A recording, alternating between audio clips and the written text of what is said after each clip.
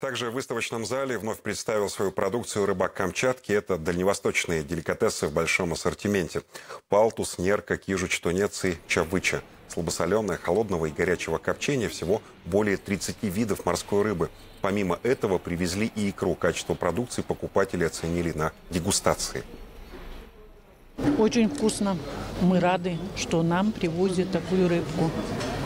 И икра хорошая берем каждый, вот как только приезжает рыба Камчатки, мы всегда здесь, в первых рядах.